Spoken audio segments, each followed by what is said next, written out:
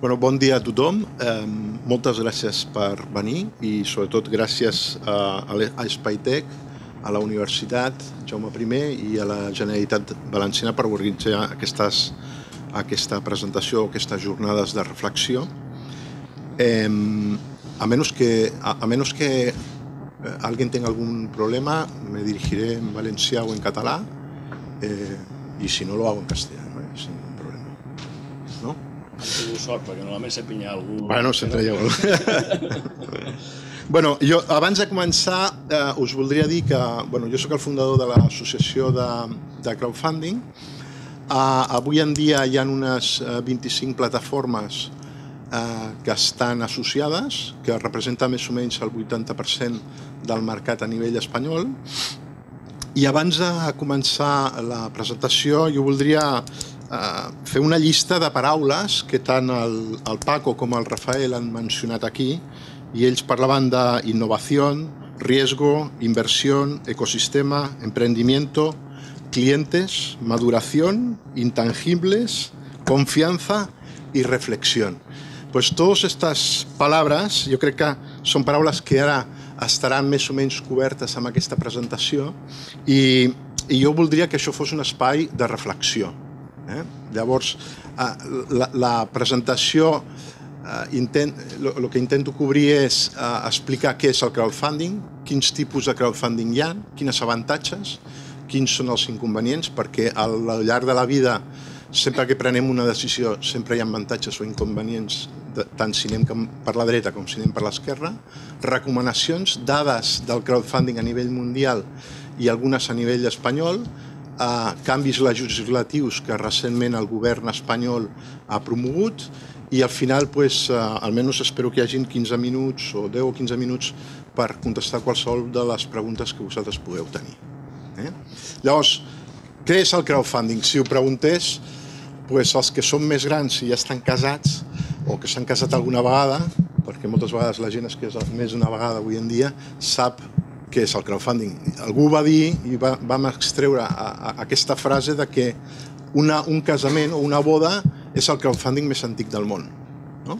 Perquè tu tens un projecte, en aquest cas de vida, tens una il·lusió, tens un objectiu, que és compartir una vida amb una altra persona i decideixes anar-te'n a viure amb ella i ho fas compartir amb tots els teus amics. No? És així de simple. I ells t'ajuden amb allò que tu necessites, que pot ser pagar el, la festa, els viatges, eh, comprar-te la nevera, etc etc. Pues, aquest és l'exemple més clàssic i el que jo crec que tothom entén. No? Llavors, quins tipus de crowdfunding hi ha? Pues hi ha a nivell general, a nivell espanyol i a nivell internacional hi ha quatre que estan ben definits, que són recompenses, préstecs, donacions i inversions. I ara anem a analitzar cada un d'ells. Recompenses. Recompenses, bueno, simplement vol dir que eh, jo faig, explico el meu projecte, jo tinc un producte o un servei i a canvi de diners jo ofereixo una, una recompensa, que pot ser una samarreta, si jo sóc un músic i estic eh, fent un, fent un, un disc, doncs el lògic és que millor per, per aquells diners que em donen jo dongui un, un DVD o, o un CD, eh, o pot ser una, una samarreta commemorativa, un llibre, si estic escrivint un llibre, o si tinc un producte, doncs, eh, el, el pugui canviar per diners. I també serveis. Fins ara, eh, la gran majoria de, de recompenses estan basades en producte o en coses tangibles, però també pot ser un servei. És a dir, una petita empresa que crea per primer cop un servei, que pot ser un servei tècnic, doncs per què no provar-ho també amb el crowdfunding? És una manera d'impulsar-ho i, i intentar promoure-ho.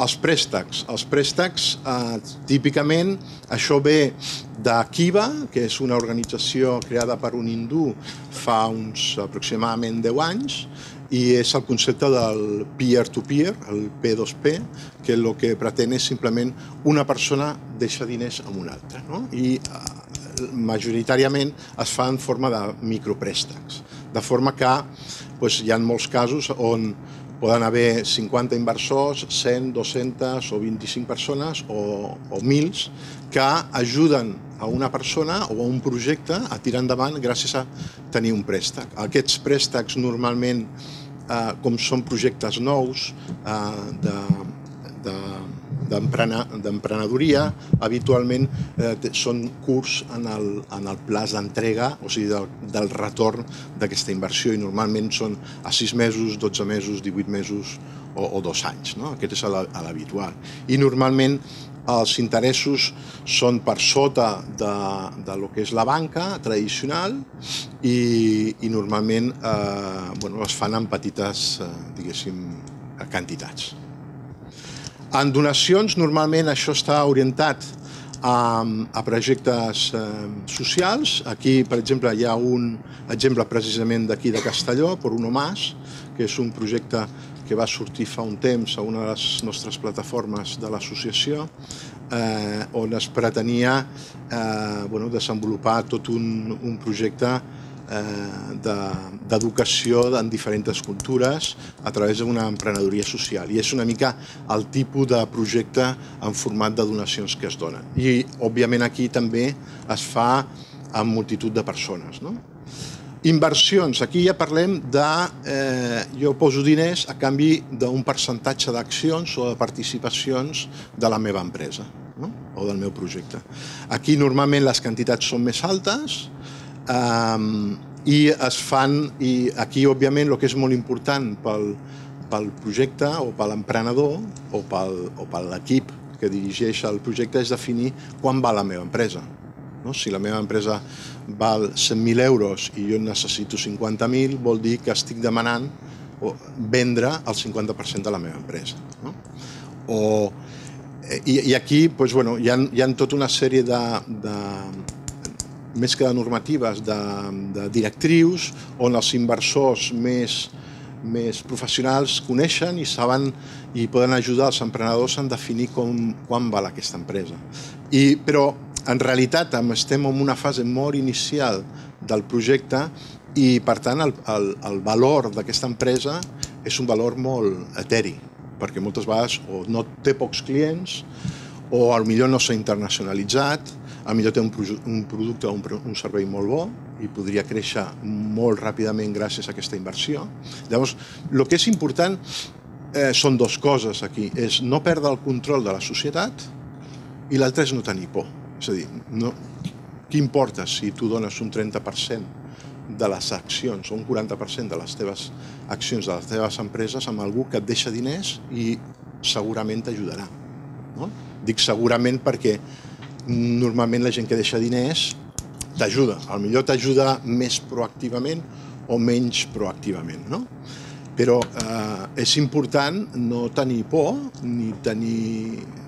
Perquè en realitat qui inverteix a la teva empresa està buscant un retorn d'aquella inversió i busca ajudar-te que tu tinguis, que tu tinguis èxit. Per tant, eh, no, no, no hem de tenir por de que algú ens ajudi i tingui un percentatge de l'empresa. Perquè en el fons bueno, és la pregunta que ens hem de fer. Què és més val? Anar a poc a poc, sense diners i al millor morint-se pel camí o anar més de pressa amb algú, amb algú o alguns que t'ajudin i tenir èxit eh, més ràpid o tenir fracàs més ràpid. Eh? Perquè quan abans sàpigues si aquesta empresa o aquest projecte eh, d'innovació o d'emprenedoria té èxit o té fracàs, doncs podràs o anar avançant o parar-lo i, i fer una altra cosa. Sí? Avantatge, quines són els avantatges del crowdfunding? Bueno, primer és un finançament alternatiu.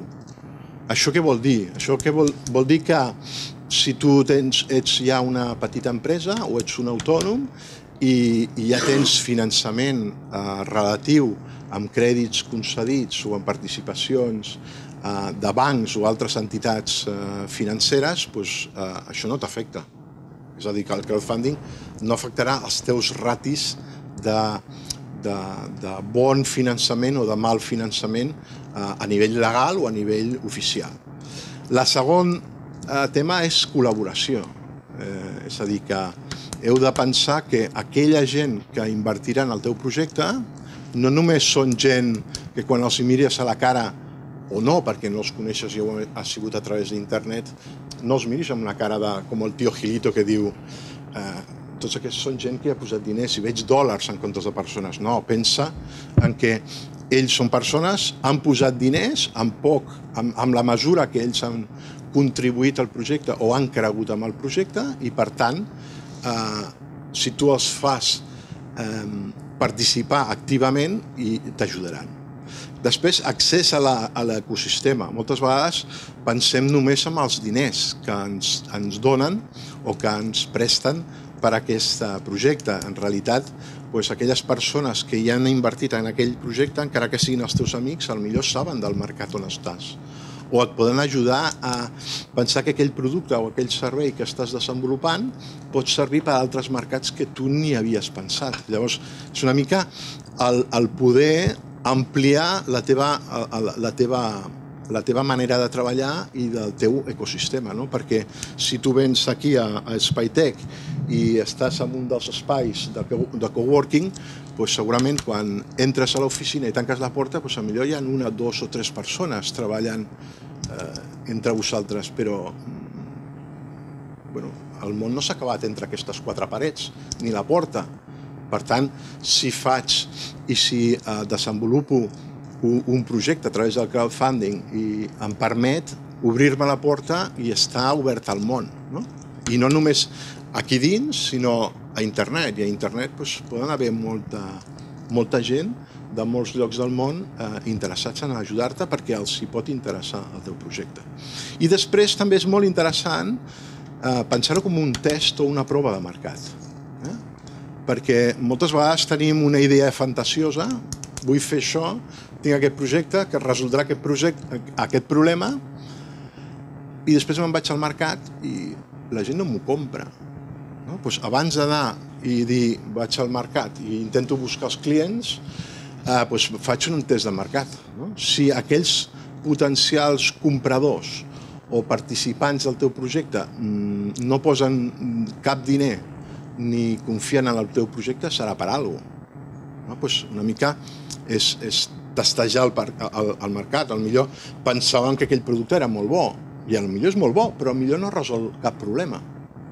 Llavors, bueno, d'aquesta manera tu pots analitzar i, i reflexionar sobre eh, quin èxit pot tenir el teu producte. I l'èxit amb un crowdfunding tampoc et garanteix l'èxit d'aquell projecte al, al món real, eh? però és un bon indici per, per tu per començar. No? Inconvenients que té el crowdfunding. pues, bueno, moltes vegades diu, bueno, anem a demanar, no? Quant, quants diners necessitem? Home, doncs mira, per aguantar tres mesos, doncs mira, em costa a l'Espai Tech no sé quan. Uh, necessito un dissenyador, un programador, um, em vull posar un sou, etc etc. doncs aguanto sis mesos, no sé, 20.000 euros. Doncs home, doncs ja, per què no demanem 50 o 100.000? O sigui, per demanar tots els dies 6 de gener de cada any fem la, la carta dels Reis Mags, no? I després els Reis Mags porten el que porten. Doncs pues això passa exactament igual, no? És a dir, hem de ser realistes. I realistes vol dir anem a buscar allò que necessitem a curt plaç, entre 3 i 6 mesos. Si pensem més allà, ens estem mentint a nosaltres mateixos. Òbviament depèn molt del projecte, si és un projecte social doncs segurament no és així, però en un projecte típic d'emprenedoria d'internet, a Estats Units, a, a Califòrnia, els, els business plans o els plans de negoci a tres anys vista ja no se'ls creu ningú. No serveixen els plans de negoci a tres anys vista, ni a dos anys. Si tu treballes a internet, fes un pla de negoci a sis mesos, i en sis mesos tindràs mètriques, sabràs què ha passat, sabràs com ha respost al, al mercat i sabràs si allò que has aconseguit al cap de sis mesos, sigui bo o dolent, et permetrà seguir mantenint aquelles mètriques, canviar-les i, i, i seguir millorant i seguir aprofundint amb el teu negoci.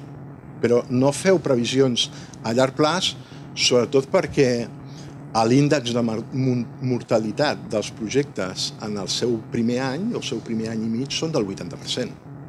Per tant, quan més acotis el temps, els diners que gastis i, els teu, i les teves il·lusions siguin reals, doncs abans tindràs certesa de que allò va endavant o no. El segon és, eh, costa molt. Això no és fàcil, eh? Això no és venir aquí, anar a la web, posar un projecte, posar un vídeo puturro de foie i que vingui la gent a comprar o a, o a posar diners. No és així. Us ho heu de moure vosaltres. Dependrà de la plataforma, de lo compromès que estigui amb el projecte o amb el tipus de, de projecte que vosaltres eh, desenvolupeu, s'implicarà més o menys, però un gran esforç ha de ser per part vostra. Després, percepció versus realitat. No? Moltes vegades eh, els anuncis de la tele ens fan pensar que el món és... Eh, tothom és guapo, eh, tothom no envellirà mai, i aquestes coses, i la realitat és molt diferent. Tots ens fem vells, eh, tots tenim errors, tots muntem empreses o projectes i la caguem i hem de tornar a començar, etc etc. Llavors, bueno, hem de ser realistes. Per ser realistes, doncs és una mica doncs, a, o sigui, intentar fer allò que creiem raonable i el que els demés pensin que és raonable. Eh? Perquè el projecte, tu saps els detalls, les característiques del projecte, el producte si és bo o no és bo, si està ben fet o no està ben fet. No? Molta gent llença, als Estats Units sobretot, llencen un producte o una nova web o un producte innovador de forma que eh, és molt simple. Està agafat amb els fils just per testejar-ho, no? però ells saben que allò no està ben fet. Pues, bueno, eh, lo, lo important no és saber si està ben fet una cosa o no, sinó quina és la percepció dels aments que tenen sobre el teu projecte. Sí? I, I llavors hem de jugar amb això. Quina és la realitat nostra, interior, a l'empresa, al projecte, a l'equip que hi ha darrere i quina és la percepció que poden tenir fora. Eh? I amb això és molt important fer un bon màrqueting, òbviament. I després hi ha gent que no li agrada exposar-se al mercat. Eh? Hi ha grans companyies multinacionals que abans de llançar un producte al mercat el llencen amb una marca blanca, s'inventen un nom i veuen, i, i, i veuen què passa. I a partir d'aquí doncs, ells fan servir això com un test de mercat. Bueno, doncs, vosaltres no esteu una gran multinacional, eh, però podeu aconseguir a fer aquesta multinacional. Per tant, doncs, per què no agafar les bones pràctiques de les grans multinacionals com fa això? No? Doncs, bueno, provem-ho. No, no, què perdem? Què perdem de la nostra vida? Invertir un mes, dos mesos, tres mesos? Doncs tres mesos a la nostra vida no és res. No? I quina és la recomanació principal? És explicar una bona història. Què vol dir explicar una bona història? Explicar una bona història vol dir no explicar quines característiques funcionals, tècniques té un gran producte, sinó heu de, que això és important, que és, diguéssim, bàsic, però no és lo fonamental. Lo fonamental és quina emocionalitat transmeteu del vostre projecte o del vostre producte. Quanta més emocionalitat transmitiu positiva, no negativa, tindreu més percentatge d'èxit. Per tant, ens hem de... Si no tenim una història, però tenim un projecte que resol un problema, habitualment en el 99% dels projectes resolen un problema, inclús Facebook resol un problema, encara que no ho sapiguem, no? que és uh, bueno, fer cotilleo, no? i parlar entre els amics quan a hores de feina o per la nit o quan vulguem. Pues això tan simple també és un problema. Com puc jo tornar a contactar amb els meus amics de la infància de, de l'ESO o de l'EGB? Pues, bueno, Facebook m'ha ajudat a, a, a, a, a, a tornar a contactar amb ells. Això és un problema que mm, em resoldrà la meva vida? No, però bueno, és un problema. A la vida hi ha molts problemes. Bueno, pues, a partir de analitzar quin és el vostre projecte, quin és el problema que resol, doncs heu de construir una història. Si no la teniu ben creada, doncs, doncs busqueu eh, crear una, una bona història, com fan els guionistes de televisió o els guionistes de les pel·lícules, amb un bon script. Bueno, doncs, comencem a fer un script i a partir d'aquí aconseguirem tenir una bona història. Que, és lo, que en el fons és el que fan els publicistes. Eh? Després construeix l'ecosistema. En el teu ecosistema és com un, és un camp que tu vas plantant llavors i aquestes llavors eh, seran verdes, creixeran, es faran grans, es convertiran en arbustos o arbres, més petits o més grans, depenent d'una cosa molt important, que és qui t'ajuda amb qui pots influenciar? Doncs, bueno, pensa qui pot influenciar. Poden haver... A, millor tu estàs venent un producte o un servei dirigit a, a persones financeres, però al millor qui recomana aquell producte, aquell servei, no és el financer, sinó al millor és un personal tècnic. Bueno, doncs, llavors, dibuixa't un mapa de tot el tipus de persones que estan influenciades pel teu producte o servei o projecte. I llavors, per cada persona, dona-li el missatge que correspongui. I això et servirà per vendre i també per plantejar la teva campanya de crowdfunding. Eh? Perquè cada persona té una, sent una necessitat o veu el teu projecte d'una manera en funció de com és ell o quin rol té a la societat o dins d'una empresa. Llavors, una mica es tracta de personalitzar el missatge en tota aquella gent que us pot ajudar. I a partir d'aquí doncs, anar tirant del fil. No? Si veieu que hi ha un grup de gent determinada que us ajuda, doncs dius, home, doncs si aquest grup de gent són, mm, no sé, un grup eh, de, de geòlegs de Castelló, doncs per què no ens poden ajudar els geòlegs de València, o els d'Albacete, o els de Saragossa, o els del Perú. Eh? Vull dir, aquest rol d'una persona existeix a qualsevol lloc del món. I internet i les plataformes de crowdfunding et permeten arribar a tot el món. I aquest és una mica el missatge, no? Que penseu no només on esteu i, i on us centreu amb, geogràficament en funció d'on esteu localitzats, sinó que penseu molt més enllà del teu despatx, de la porta o de l'àrea d'influència. Més recomanacions. Uh, home, eh, les, les campanyes de crowdfunding són com els anuncis, no? Um, tu no vas al supermercat a comprar-te un cacaulat perquè regalen no sé quina xapa de colors o d'un dibuix animat durant anys, no les campanyes són curtes en el temps. Normalment són de 45 dies, o de 60 dies, o de 90 dies, i llavors, bueno, eh, cada dia que passa has de tenir un percentatge d'èxit. Si no, és un dia que has perdut. I un dia que has perdut, l'has perdut. El dia següent has de vendre el doble o has aconseguit el doble de diners perquè és l'objectiu que tinc avui més el que no vaig aconseguir ahir. No? Per tant, si jo demano, per fer-ho fàcil, eh, 45.000 euros, durant 45 dies haig d'aconseguir 1.000 euros cada dia. És així de dur. Per això jo us deia abans que no és una cosa fàcil. Doncs, bueno, hem de pensar, avui m'aixeco pel matí, arribo a l'oficina o treballo des de casa o des d'on sigui, com faig per aconseguir aquests 1.000 euros? Qui me'ls posarà? I si avui ningú m'ha posat 1.000 euros, demà, qui me'ls haurà de posar? Els d'avui i els d'ahir.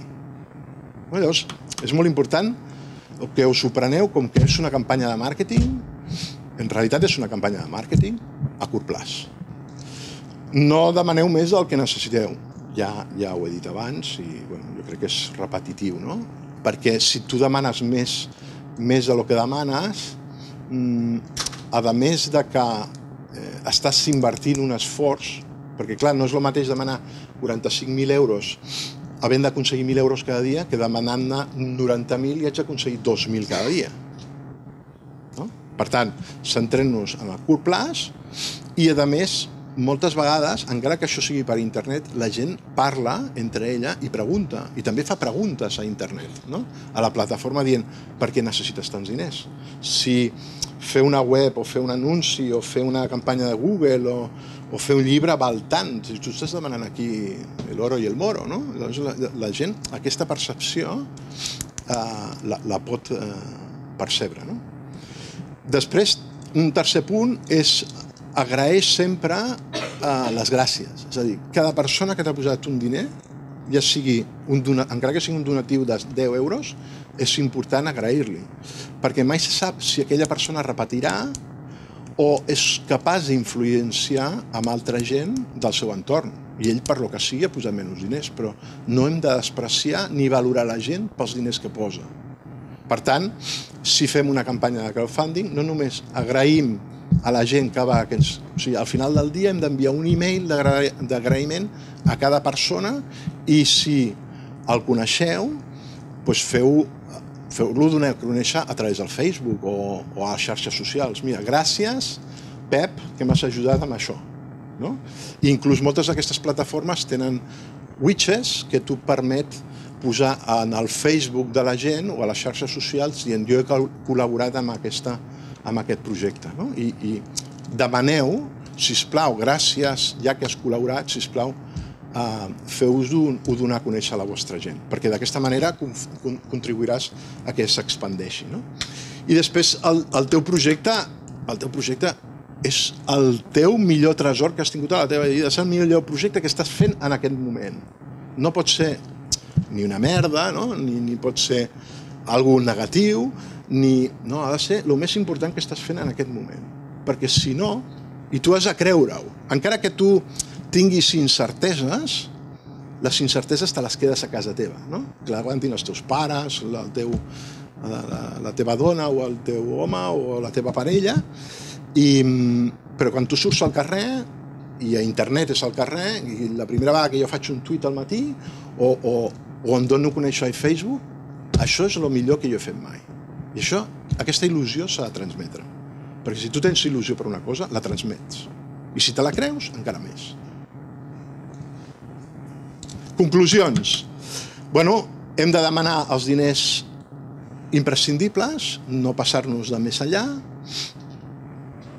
pensar que aquests diners ens servirà per créixer, muntar una campanya, heu de pensar que això és com una campanya publicitària de màrqueting entre 45 i 90 dies en funció del, dels temps de la plataforma o del que vosaltres decidiu i a por ello. Eh? Respecte a dades, bueno, aquestes són les dades a nivell mundial que tenim de, cloud, de, de crowdfunding. La nostra estimació és que Espanya està, o sigui, a nivell mundial són 2,7 bilions de dòlars, això, això vol dir 2.700 milions de dòlars en tot el món, en l'any 2012. Quan Espanya va, quan Espanya iba bien, Espanya era aproximadament entre un 1,5 o un 2% de l'economia del món és a dir, que de 2.700 milions de dòlars hauríem d'estar parlant de 500 milions de dòlars, o sigui, vol dir uns 400 milions d'euros a Espanya. Quan Espanya va mal, pues aquests 400 milions s'haurien de convertir en 200, 150. Sabeu quants milions d'euros es van invertir en crowdfunding l'any passat? 19. Això vol dir que estem in the beginning of the beginning, eh? al començament d'aquest mercat, i on ja ha explosionat als Estats Units i, i a molts països, sobretot anglosaxons, eh, de, de, dels països nòrdics o, o inclús a, a Holanda o a Anglaterra, és perquè hi ha una cultura molt més d'ajudar a l'emprenedor. No? Eh, la cultura anglosaxona, per un costat, eh, està molt oberta a, a col·laborar i, i empantar aquest tipus de projectes encara que fracassin. No? La gent sap que fracassaràs. Un, tens un 80% de probabilitats de fracassar, però no per això no vol dir que ho intentis. No? Després, um, aquí hi ha dades de... Això són percentatges, aquí a baix, d'èxit. A Europa estem aproximadament amb un 50% d'èxit, vol dir que un 50% dels projectes que es posen a la plataforma tenen èxit i, eh, i és més alta que als Estats Units. Això és cert. I, i jo crec que és per ser conservadors. És a dir, quan nosaltres anem a una plataforma de crowdfunding no posem qualsevol projecte, sinó posem un projecte amb molt més cara i ulls. No? De fet, dependrà molt de la plataforma, però alguna de les plataformes més eh, importants d'aquí a l'estat espanyol, doncs dos terceres parts dels projectes presentats han tingut èxit. Eh? És més baix a Europa i molt més baix a, a Estats Units. Després, eh, aquestes són les causes principals eh, que tenen èxit. Aquestes, les grogues o, o taronges, són les eh, projectes que estan orientats a, a donacions o recompenses que estan molt orientats a causes socials o a temes d'arts, o sigui, de, de, de, de, a fer pel·lícules, música, temes relacionats amb els arcs creatius, i en canvi el, el que espera un retorn a la finançació, com és el crowdlending, que és el crowdfunding de préstecs, o el crowdfunding d'inversions, està molt més orientat a dos, a dos mons, que és l'entreprenoria i nous negocis, i també a causes socials, perquè moltes de les causes socials del món, sobretot en el, món, en el tercer món, estan molt orientades a que jo, pres, jo faig un microcrèdit i tinc uh, un retorn d'aquesta inversió, t'ajudo a muntar el teu negoci i tinc aquest retorn de la inversió a, a curt plaç. No? A nivell espanyol, eh, bueno, aproximadament el 40% de les plataformes són basades en aquell gràfic de l'esquerra, són eh, plataformes basades en recompensa, un 20% són inversions, un 24% en donacions i en préstecs n'hi ha menys, un 14%. Això són dades de, de principis d'aquest any. En préstecs, curiosament, eh, plataformes, diguéssim, 100% espanyoles, només n'hi ha dos o tres, però n'han aparegut com a 4 o 5 de països bàltics o països del nord d'Europa, de, d'Anglaterra, on ja tenen més desenvolupat aquest negoci i ara s'estan també eh, posicionant. En, aquesta, en aquest quadre doncs, veureu quin és el promig que cada inversor o cada donant dona en aquestes plataformes. En donacions estem parlant que en promig la gent hi posa 34 euros, en recompenses 35-36 eh, euros en funció del, del valor que tu dones d'aquell producte. En inversions són pràcticament quasi 5.000 euros i en préstecs uns 2.000 euros.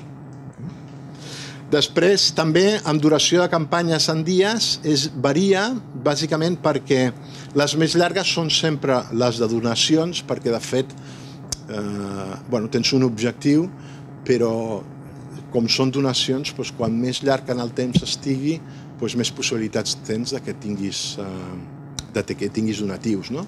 Però la major part de les plataformes es belluguen al voltant dels 45 dies i això és una raó, i és una raó de que si tu pagues amb targeta de crèdit i en, menys de 40, en menys de 45 dies eh, el projecte no s'ha arribat a terme i t'han de tornar els diners, doncs es tornen els diners a través de la, del, de la targeta bancària sense que ningú pagui comissions. Eh, amb inversions és una mica més amunt, de 53 dies, i en préstecs una mica menys de temps perquè perquè és molt més uh, focalitzat i molt més orientat. I aquest és el promig de diners sol·licitats per projecte. En inversions ja estem parlant de 135.000 euros, en recompenses parlem de 2.800 euros, o sigui, per, per sota els 3.000, en donacions 11.000 i en préstecs estem parlant del voltant de 30.000 euros. Això és una mica el promig a nivell espanyol. I el comportament de financiadors és molt important saber que per cada projecte hi ha uns 143 persones que inverteixen en el teu projecte. Però el més important és que la meitat d'aquestos són repetidors. Ja han portat diners amb altres projectes. Eh? Repetidors de la mateixa plataforma. Per tant, eh, heu de pensar de que heu de poder comptar amb amb la gent que participa de forma habitual en projectes de la plataforma on hi posareu el vostre projecte, però us queda encara el 50%. Amb la qual és molt important eh, eh, saber-ho. També hi ha altres dades, com diu que el, eh, si al, al cap de dues setmanes hauries de tenir un percentatge d'èxit del voltant del 20-22%. Si no, és molt difícil que el reste de setmanes siguis capaç d'arribar al 100%. Eh? Això, això és el promig, no ho hem de prendre com un número dràstic, però és un bon indici de si al cap de dues setmanes hem aconseguit un 20% del nostre eh, projecte vol dir que anem en bon camí. Eh? I causes d'èxit, doncs això són causes d'èxit que hem preguntat a la gent amb un estudi que hem fet a través de l'associació i el 24% diu que eh, màrqueting. Eh? comunicació a través de xarxes socials, tenir un bon material audiovisual, sobretot si tens vídeos. Uh, també és molt important projectar valors, transmetre els valors del projecte i fer una bona planificació i seguiment de la campanya. Eh? O sigui, això és una campanya de màrqueting on cada dia heu d'aconseguir 1.000 euros, 100 euros, els que siguin. I us heu de posar a l'objectiu d'un seguiment diari, si no serà difícil aconseguir-ho. I, uh, i, una, I també vam preguntar a les plataformes quines, o i a, a la gent en general, quines són les necessitats del sector i ens van parlar de tres coses. Una és del 32%, ens demanava legislació, i els dos altres punts van ser confiança, trans, transparència i la tercera, eh, publicitat i educació. Publicitat i educació perquè va molt al nivell de que si en comptes d'Espanya en total, comptes de recaudar 150 o 200 milions d'euros, estem en un nivell de només 19 milions d'euros, vol dir que encara la gent no ho coneix. De fet, hi ha alguna enquesta que diu que només un, un 1% dels internautes saben el que vol dir crowdfunding un 1%. Eh? Jo diria que el 100% dels internautes saben el que és un casament o una boda, no? Per tant, tenim un problema de desconnexió d'educació respecte de què vol dir crowdfunding i per què serveix.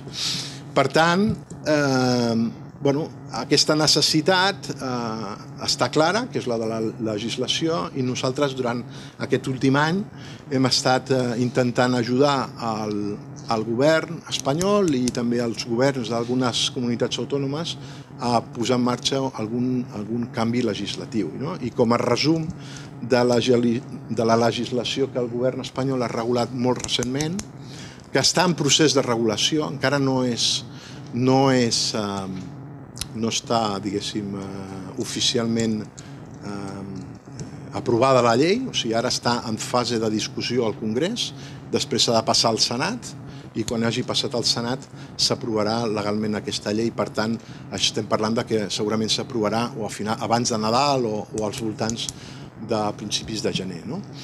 Uh, de tota la regulació, l'únic tipus de crowdfunding afectat és el de, que se'n diu en anglès equity, i, i és el d'inversions.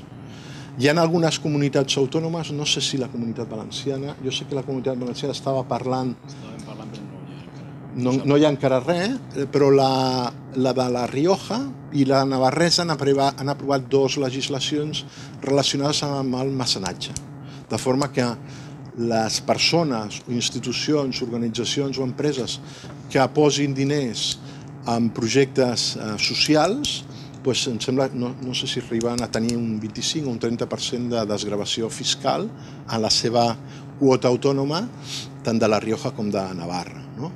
Eh, per tant, aquesta legislació només afecta amb el tema d'inversions i amb el tema d'inversions el que és important és per persones amb ingressos inferiors a 50.000 euros només podran invertir fins un màxim de 10.000 euros i un màxim de 3.000 euros per plataforma amb els diferents projectes.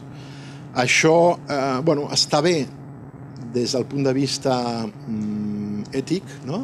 eh, o transparent d'intentar que no passin coses com havia passat amb, els, eh, amb la nova Romassa, no? que hi havia un senyor que es dedicava a vendre mm, bons o accions o participacions de la seva empresa tots els diumenges durant un mes d'octubre de fa uns quants anys i després va fer el gran pelotazo i va enganyar tothom. Llavors, una mica la CNMV, qui és que regula tota aquesta legislació, pretén eh, diguéssim, protegir el petit inversor, el consumidor, diguéssim, el de, el de, el de tota la gran major part de, de la societat espanyola. No? I llavors, eh, per persones que tenen més alts ingressos, eh, bueno, mm, es pot, eh, hi ha, a les plataformes de crowdfunding ens obligaran a passar un test, de forma que tu, si no ets un inversor acreditat, eh, puguis passar un test amb una sèrie de preguntes que són bàsiques, referents al tipus de risc que comporta aquest tipus d'inversió, quin tipus de ganàncies o patrimoni tens per una mica valorar fins a on pots invertir, però més o menys aquest és l'entorn. I també eh, el màxim de diners que es poden demanar per projecte són de 2 milions d'euros. Això pot semblar una xifra molt gran, però en realitat per projectes d'investigació biomèdica o, o projectes d'inversió relacionada amb fàrmacs és molt poc perquè aquí són projectes de 5-10 milions d'euros, inclús hi ha un projecte que porta 3 anys a dia d'avui, eh, que porta recaudat més de 3 milions d'euros, eh, i és un projecte d'enviomedicina i que en aquest cas ho està fent per crowdfunding, eh, muntant inclús reunions i presentacions a totes les províncies d'Espanya, i és un projecte de la Universitat de, de Navarra, però en aquest cas, aquest projecte només podria entrar amb 2 milions. Bueno, és una penalització que té per no poder invertir, però en el fons el que pretén la legislació aquesta és ser més transparent i donar seguretat al, a l'inversor, ja sigui petit o gran, i que les plataformes de crowdfunding pues, siguem transparents a l'hora de transmetre eh, el, el coneixement i també haurem de tenir cert control dels projectes, no? eh, que, que tinguin una sèrie de característiques de, de que, no, de que bueno, el 100% d'un engany no es pot assegurar, però almenys eh, tenir un, un 99,99% de probabilitats. No? Llavors, si vosaltres voleu eh, mm, eh, proposar o promoure el vostre projecte a través d'una plataforma de crowdfunding, podeu anar a la vostra a la nostra web, a spaincrowdfunding.org, i a dalt hi ha una secció que diu Te Guiamos, i en el Te Guiamos hi han dos accessos. Un és a, a la llista de plataformes eh, que estan associades a l'Associació la, Espanyola, i veureu que hi ha unes 25 plataformes i cada una dona diferents possibilitats i diferents tipus de crowdfunding i també el que hem fet durant aquest any ha sigut crear una guia resum, resum de quina és l'afectació tant a nivell per persones físiques com autònoms o empreses de la fiscalitat i quines coses, temes d'IVA, etc heu de considerar quan poseu un projecte de crowdfunding que podeu accedir a través del Teguiamos. Eh? I si qualsevol cosa necessiteu, sempre podeu enviar un e-mail a través de la, de la plataforma. I dit això, eh, pues, tenim 10 minuts pues, per qualsevol pregunta que, que, que tingueu o inquietud o, i intentaré resoldre-ho si, si la sé i, i si us puc ajudar. Sí, la primera. ¿Se oye bien? Sí, ¿no? Sí.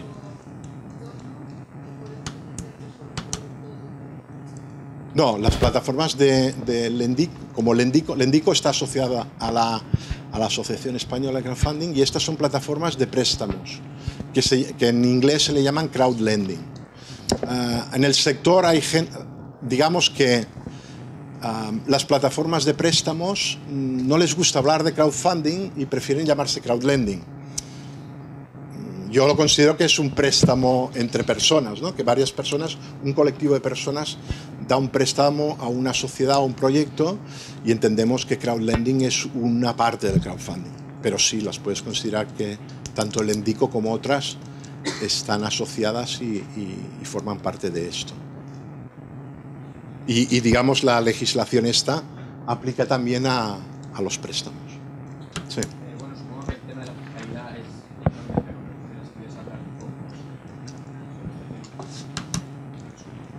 Bueno, resumirlo no, es fácil, ¿eh? Porque, digamos, porque, claro, ¿tú quién eres? ¿Eres, eres un SL? ¿Eres un autónomo? ¿Estás montando una fundación? Está, bueno, su pregunta era, eh, si quieres repetirla. Ah, vale, es, que, ah, vale. es, que, no es sí, bueno, no lo oís eh, vosotros, sino porque estamos grabando, entonces si no, no se oye luego en la, Ah. grabación. Sí, el tema eh, quería preguntar ahora sobre la fiscalidad, que es un tema súper importante, me parece, el tema de post-crowdfunding también, ¿no? Cuando recibes ese dinero, cuánto tienes, cómo lo, lo declaras, ¿no? Eh, teniendo en cuenta si, el, si lo que tú das, por ejemplo, es un producto o un servicio a cambio o es una donación. Supongo que si es una donación, eh, pues es el impuesto de donaciones, pero si en Correcto. cambio es un producto, ¿ahí qué sucede? ¿Es como una venta online o...? Sí.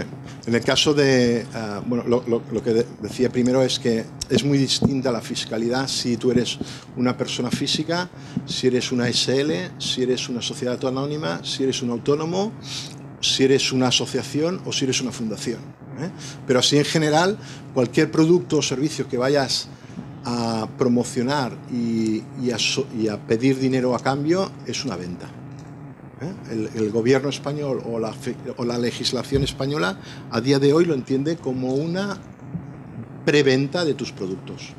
No le puede llamar venta porque este producto no está disponible normalmente. Normalmente tú diseñas un producto, lo pones a- lo das a conocer a través del crowdfunding porque piensas que con ese dinero vas a acabar de desarrollar o, desarrollar de forma entera todo el producto y cuando lo tienes acabado lo entregas. ¿no? Y de, forma, de esa manera en la plataforma dices, desarrollo este producto que lo tendré disponible en 60 días. ¿no? Y una vez consigo el dinero, lo hago, lo entrego en esos 60 días. ¿no?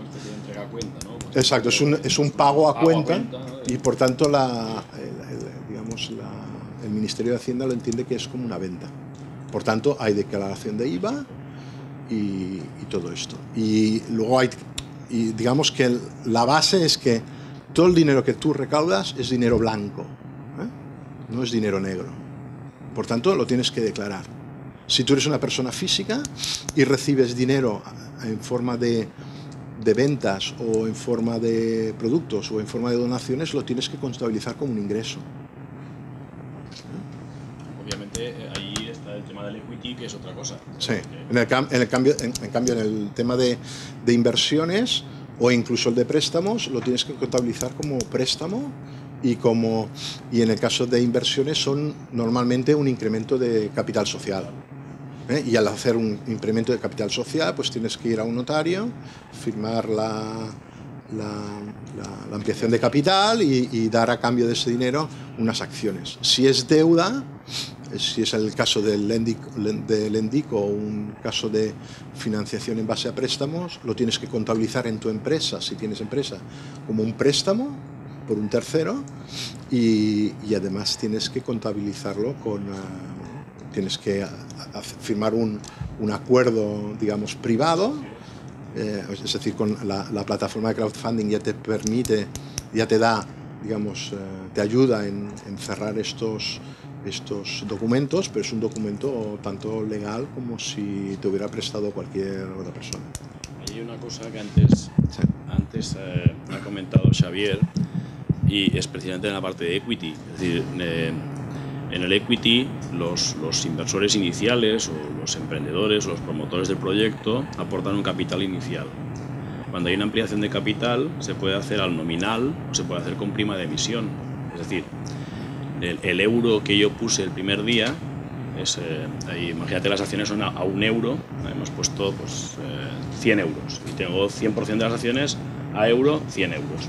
Bueno, supuesto el hecho de que haga una ampliación de capital, si lo hiciese al nominal y pidiese 100 euros más, diluiría la participación y tendría 200 euros con el 50% de participaciones. Eso sería en un supuesto en el que el nominal se mantuviese y no hubiese prima de emisión. Pero claro, si el proyecto va avanzando, tiene menos riesgo y eh, tú has trabajado en él, lo lógico es que en la segunda, en la entrada de capital que va a ocurrir, en la ampliación de capital, eh, haya un efecto de prima de emisión. ¿Qué quiere decir? Quiere decir que tu proyecto ahora ya no vale 100 euros que tú pusiste inicialmente, puede valer, imaginemos, 200. De tal manera que los 100 que pondría el nuevo eh, inversor entrarían en el capital, pero no entrarían eh, todos a, a, capital propio, o sea, a los, fondos propios de la sociedad, a los fondos propios sí, pero no a capital de la propia sociedad, sino entrarían como prima de emisión. ¿Qué quiere decir? Que tu dilución sería eh, menor y de alguna manera quedarías con un 66-33, ese supuesto que hemos hecho, porque tendrías una prima de emisión de 1 a 2, eh, eh, es decir, en realidad el que estaría comprando estaría comprando la mitad del dinero que pondría, lo pondría como capital y el otro lo pondría como prima de emisión. Esa prima de emisión puede ser de 2, de 3, de 5, de 10, de 100 o de 1000, es decir, puede ser primas de emisión en función del valor que vaya adquiriendo el proyecto. Es decir, eh, entrar en equity en la sociedad no quiere decir siempre dilución hasta el infinito, o no tiene por qué significar. Y ahí también quería hacer un matiz antes, que también es una cuestión de reflexión. Esto es, los americanos llaman lo de ser eh, eh, rey o rico, ¿no? el king of or, rich, ¿no? a ver, y en, bueno, en castellano tenemos otro dicho que es lo de cola de, de, león o, o, cabeza de ratón, ¿no? Eh, muchos proyectos, cuando toman dimensión, tamaño y demás, el eh, inversor inicial que arrancó acaba teniendo una parte pequeña del proyecto porque incluso pierde el control. Ya antes se ha hablado, esto también hay que, hay que tener claro cuándo, cuándo conviene o, digamos, o estoy dispuesto a perder el control del proyecto, al final Y eso supone una serie de cuestiones. Lo que ha dicho Xavier, cuidado con perder el control, pero a veces es, ojalá perdáis el control. Es decir, a ver, el control desde el punto de vista eh, accionarial. ¿Por qué? Porque normalmente va a significar que los proyectos van a ser muy gordos. Bueno, también, también existen cláusulas donde, aunque, aunque los accionistas no fundadores tengan la mayor parte del capital social, eso no quiere decir que ellos decidan por vosotros. También puede ser. Decir, que también, ah, yo creo que aquí es muy importante hablar cuando, cuando habléis con inversores de este tipo es cuáles son los términos del pacto de socios. Se les llama, llama pacto de socios al documento entre, que firman los inversores respecto a los miembros fundadores del proyecto o de los que, de los que participan hoy en día del capital social de la empresa. De esta manera se pone, te pones de acuerdo en cuáles son los términos, ¿no? porque a lo mejor también hay, um, hay, hay, cláusulas donde tú permites de que si un día te llega Google, te quiere comprar, eh, puedas decidirlo o no. Y entonces los demás inversores tengan capacidad de decisión o no sobre algunos temas.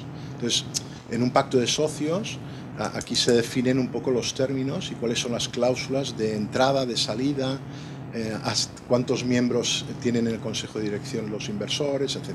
Y aquí, digamos que lo que yo creo que si vosotros tenéis una idea y, y es razonable, los inversores la aceptarán. Obviamente, pues hay de todo, ¿no? Hay inversores que prefieren tener el máximo control por el mínimo mm, posible de dinero, que ese es su objetivo, y vosotros tenéis el objetivo contrario. Entonces, bueno, mientras no perdáis la paciencia ni la calma y no querréis uh, transmitir prisa por tener el dinero, podréis llegar a acuerdos razonables. Más preguntas. Espera, un segundo por, por el tema de grabar, lo siento. Es... Sí, en el caso de, de asociaciones sin ánimo de lucro, sí. el tipo de donaciones o recompensas, eh, ¿llevan algún tipo de fiscalidad o...? Eh, solo, solo en el caso de que sean eh, fundaciones. Puedes desgrabarte esa, esa, o sea, puedes tener una, una, una desgrabación fiscal, pero no para y si tú eres una asociación, eh, las personas que lo han, han invertido en ella no tienen hoy en día desgrabación. Por eso, por eso lo que nosotros eh, eh, hemos promovido esto y a, a través del en el Ministerio de Cultura tienen un documento con solo simple de tres puntos de nuestra visión de, de, de que deberían cambiar o promover la ley del mecenazgo que no, que no ha salido al Parlamento ni, y, y, está en el congelador, digamos. Desde hace años. Y además está desde hace años. Vale, muchas gracias. Más cuestiones. Sí, eh, yo quería preguntar que bueno, en todos estos proyectos en los que la innovación y la investigación está implícita hay un cierto riesgo. ¿Qué sucede si un proyecto que se ha financiado eh, no puedes cumplir con tus compromisos de recompensa? Bueno, pues eh, tienes, que pre tienes que preverlo.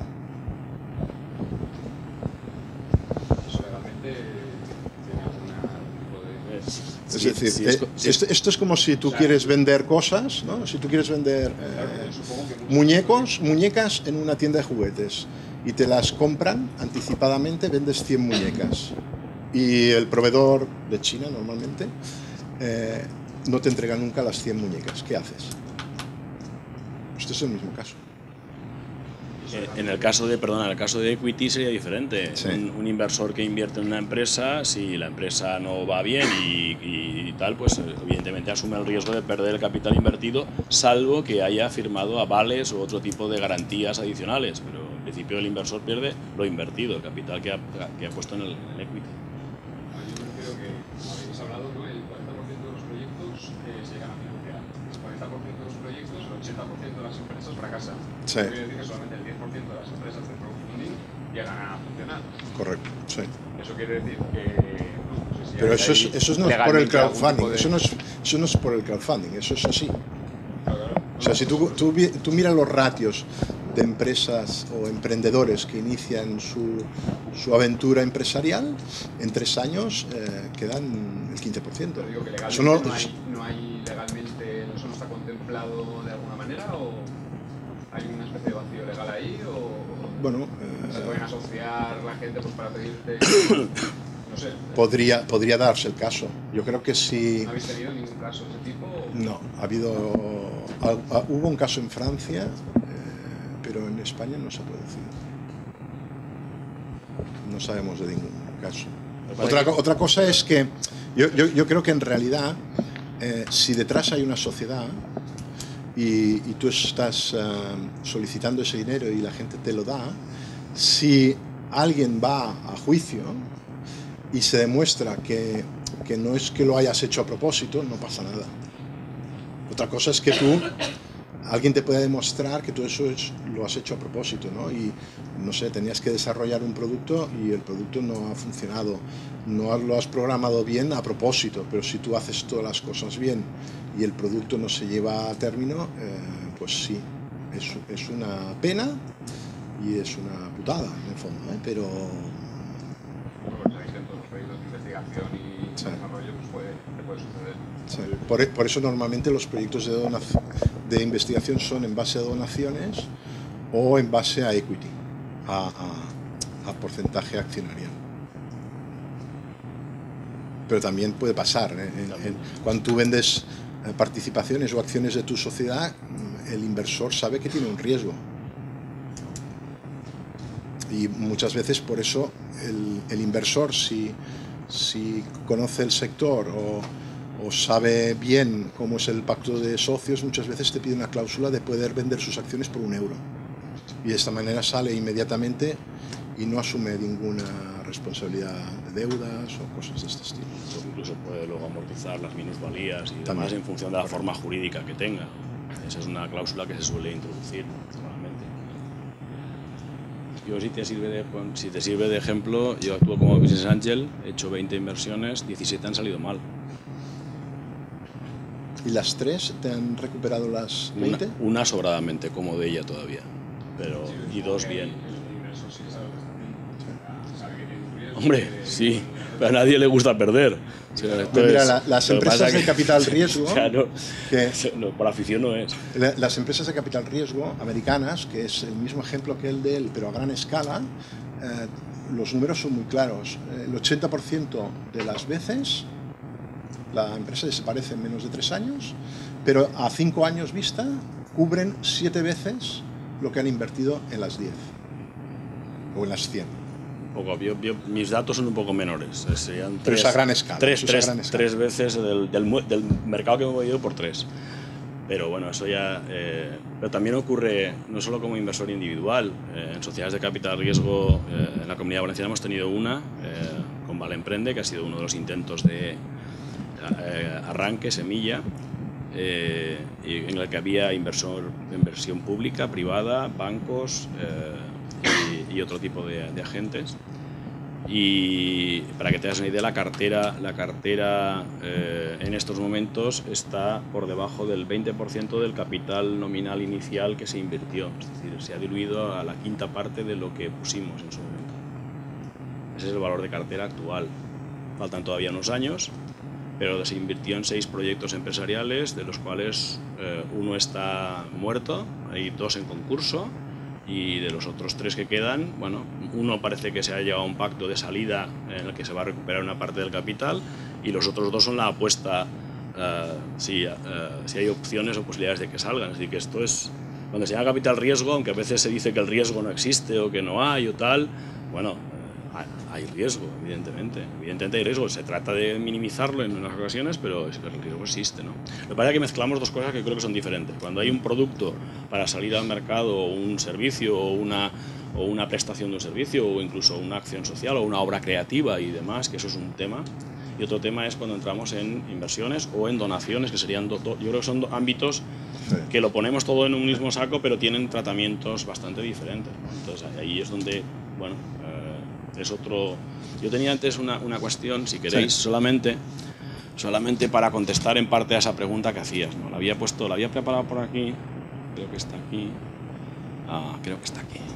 Ah, Esto era, bueno, era una presentación rápida que tenía de, de claves de fracaso, pero vamos directamente a la que, a la que quería que viese. Es que era esta. Bueno, esta, esta no, esta. Espérate un segundo, a ver si consigo. Esta. esto es un poco eh, cosas que pasan en las empresas o en los proyectos. Espérate a ver si consigo ponerlo en pantalla ah, grande aquí. Joder, atrás. Esta no. Arregle o van. Van. Esta. Estas son cosas que pasan en las empresas. ¿no? Habitualmente todos eh, pretendemos, o sea, casi siempre los modelos son modelos en los que arranca un proyecto, hay un periodo, el típico Valle de la Muerte y tal, en el que no ganamos suficiente, o sea, hay menos, menos ingresos que gastos.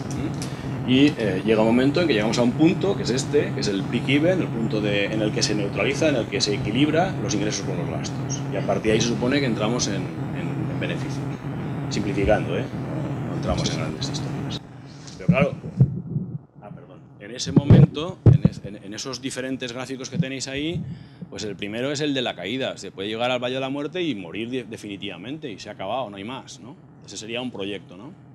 Una opción y pasa. La otra opción es otro proyecto que nosotros llamamos zombies, ¿no? Son proyectos zombificados que van muy lentamente, muy poco a poco y que a lo mejor Dios sabe cuándo llegarán al break-even, ¿no? Este es el caso de Twitter, por ejemplo. Eh, pues bueno, son proyectos Pierde dinero después de cinco años. Que para algunos inversores, claro, eso también es las expectativas, porque en el tema de la inversión es la generación de expectativas a futuro eh, y tal, pero desde el punto de vista de inversor, ¿tú invertirías en un proyecto que de ese tipo? Pues hombre, aparentemente no. ¿Por qué? Pues joder, porque si me lo pones tan a largo plazo y tan tal, y con tan poca atractivo, otra cosa es la eh, gestionar la expectativa, que eso sería otra, otra cuestión que podemos, si queréis, luego entrar en ella. Otro proyecto también muy interesante, y esto hay la diferencia entre proyectos atractivos interesantes y proyectos invertibles o proyectos que sean sujeto de inversión. El proyecto siguiente es este que tenéis, este que tenéis aquí. Este lo tenía animado, pero eh, por no hacerlo tan largo. Ese proyecto es un proyecto interesante, es rentable, consigue beneficios, pero es un encefalograma plano, no crece. El inversor depende de dónde haya invertido. Si yo, si yo entré en, el accionariado aquí y salgo aquí, me interesa. Pero aquí, ¿a quién se lo vendo? Porque cuando salgo aquí, el siguiente no tiene expectativas de crecimiento. Lo puedo, lo puedo vender a los propios emprendedores. Pero desde luego, otro inversor no invertirá. Porque no tiene plusvalía. El inversor pensar que solamente arriesga o inmoviliza dinero hoy para conseguir un resultado mañana. Entonces, no solamente es que yo consiga rentabilidad, es que tengo que comprar y vender. Y cuando vendo es cuando consigo plusvalía y, consigo beneficios como inversor. Y si no lo consigo convencer al siguiente, difícilmente tengo salida. Y si no tengo salida, ¿cuánto vale algo? Lo que otro está dispuesto a pagar por ello. Si no hay nadie que esté dispuesto a pagar nada por lo que yo tengo, habré ganado mucho dinero, habré hecho un recorrido, habré mejorado enormemente, pero si no hay alguien que lo compre, mm, no vale nada. Y la otra, la- las otras son la, típica del stick, ¿no? Estas son las típicas, ¿no? Que son las que todos desearíamos tener, ¿no? Es decir, hay un momento difícil, complicado, y hay un momento en que la cosa explota y tal. Esto es maravilloso, claro, porque el día que el que invirtió aquí y sale aquí es genial, pero es que el que invierte aquí y sale aquí es genial, y el que está aquí y se va allá, pues es genial. Y eso es eh, cosas que pasan muy pocas veces. Y otra- ot- otra buena, yo creo que una buena gráfica también es esta.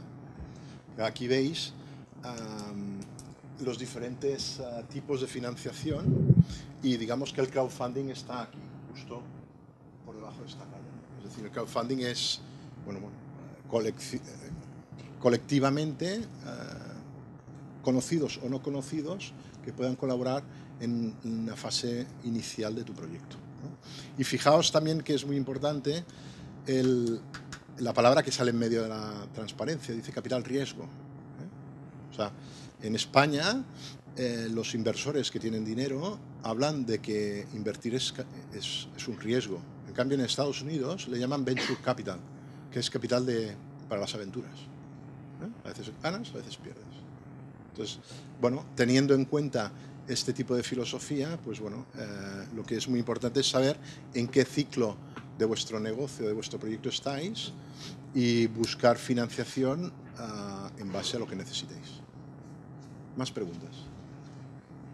Tenemos Coffee Break, ¿eh? lo digo, y luego tenemos eh, cuatro ejemplos maravillosos de gente que ha, que ha vivido, sufrido y disfrutado del crowdfunding. Sí, eso es verdad. Sí, buenos días. Simplemente a nivel de inversor, ¿no? Una persona que invierte o en acciones o pone un dinero al banco en un IPF. El, el, eh, este señor no tiene ningún problema a la hora de, de, su fiscalidad en Hacienda porque el banco se lo hace todo y le llega la documentación y ya está. En, esta, en el crowdfunding, ¿cómo funciona? ¿Tiene esta ventaja que también te lo hacen todo estas plataformas o, o es un problema añadido al quien invierte? No, de, depende mucho de la plataforma, ¿eh? pero las plataformas te ayudan a, digamos, a emitir los documentos necesarios para que, para que puedas, eh, digamos, presentar eh, tu fiscalidad, etc. No, hay problemas. De hecho, también hay una legislación sobre Business Angels que aprobó el gobierno español el año pasado y, bueno, algo es algo. Antes no teníamos nada, ahora tenemos algo. Y algo quiere decir que puedes invertir hasta 50.000 euros en fases iniciales de menos de dos años en proyectos nuevos y por ello pues, tienes una desgrabación fiscal del 20%, creo recordar. ¿no? Hay una parte del tramo del IRPF y tal, pero depende también. de cómo si actúas. Sí. Es que también hay una regulación, hay una parte y es lo de la forma en, con la que actúas. Si actúas como persona Correcto. física o jurídica, si tienes sociedad o tienes eh, tal. Luego hay un tema también de registro en asociaciones, por eso es conveniente a veces estar, lo que antes hablaba de las acreditaciones, ¿no? Si estás acreditado o no, por ejemplo, Europa tiene un, una, un listado de, de, inversores eh, Business Angel acreditados, entonces en función de eso luego tienes una serie de eh, eh, posibilidades o ventajas y demás. ¿Qué pasa? Que muchos de los inversores al final uh, utilizan una sociedad eh, instrumental para poder hacer las inversiones, porque de alguna manera la, la, la, sociedad está como más claro, ¿no? Y donde las pérdidas por lo menos las puedes neutralizar si las cosas se hacen razonablemente, razonablemente bien. Y esa es una de las opciones que hace que muchos opten por una, por una sociedad eh, tal cual. Pensad también que hay una fiscalidad, también es que esto, en fin, las sociedades de inversión de Business Angel eh, cotizan a, a digamos, al, al, régimen general de sociedades, de impuestos de sociedades, sin embargo las sociedades de capital riesgo que regula el CNMV, sí. eh, fiscal, la fiscalidad es del 1%, con lo cual la diferencia es de 24 puntos. Y claro, pero pasa que la, la CNMV, como sociedad de capital riesgo regulada, eh, requieres toda una serie de de tramitación, información, etcétera, etcétera, etcétera, y no accede todo el mundo a poder hacer eso. Igual con las ICAPs y con otro tipo de historias que tenemos, que se supone que es para que el capital, pues, eh, eh, digamos, no, no, bueno, que vuelva no lo sé, pero por lo menos que no huya eh, desfavorido y tal. Pero eso sería otra cuestión más, a, más allende, ¿no? Estamos en un, como decía también, estamos en las fases más, más de, de arranque, de inicio, de, de tal. Otra cosa es aguas arriba.